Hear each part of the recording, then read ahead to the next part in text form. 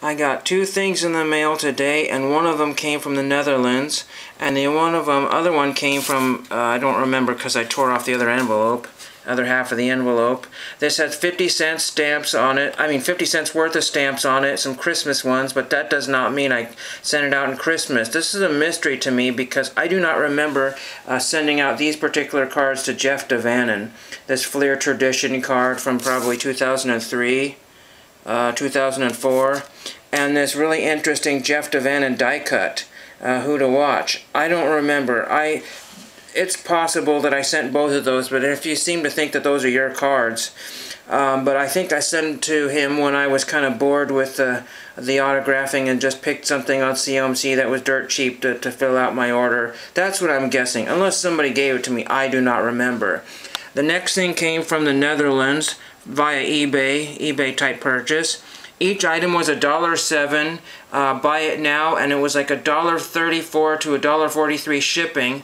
But you had to pay each shipping because some of the sellers uh, overseas, that's what you have to do, unless you have some way to uh, prior arrange through through another thing here. Um, but I got Sandra Schumacher, uh, who was in the 1984 Olympics from Germany, and she won the bronze, I believe, for the track cycling and uh, we came in uh, and got silver, I, I think. I'm not 100% sure about that one. I wanted this card for a long time because I like Olympic stuff. And also uh, because about three years ago I tried to purchase this card and it got lost in the mail with some other autographs that I've never been able to find again. And that was really cheap to get that one. Like I said, it was about a dollar seven and it's nicely signed in silver here.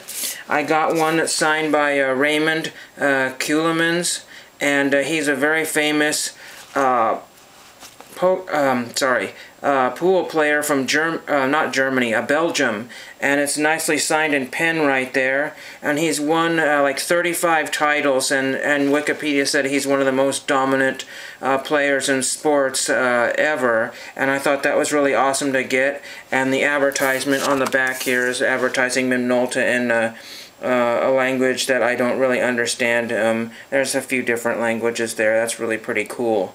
And so that was really cheap. And I got two cycling postcards, and these are ones that he specializes in, this particular seller. I cannot remember his name. And this is probably from the 20s, I'm guessing, judging by the font there. Uh, Gene Bogaerts, and I know nothing about him. I couldn't find anything, but I just thought it was really cool. And you can tell it's really old with all the all the writing on the back of it and that was really awesome to get that one. And I know it's original and real because the corners are so thrashed. But you know it might be not rare to him but I don't have one of these and I'm not gonna find one in the United States.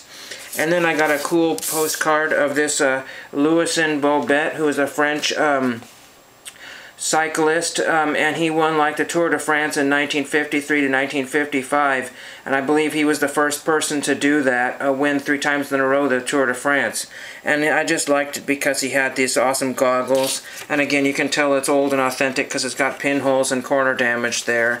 And again, that's why it was really cheap, but condition I don't really care about as long as it's a cool picture.